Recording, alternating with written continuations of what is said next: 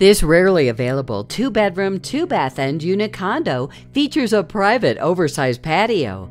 Beautifully renovated, it features gorgeous, luxury vinyl plank flooring, recessed lighting, and a stunning kitchen renovation complete with granite counters, tiled backsplash, a breakfast bar, and stainless steel appliances.